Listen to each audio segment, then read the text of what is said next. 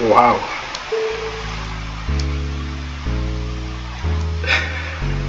Es menos una hora. Menos de 300 intentos y floqueo desde el 80%.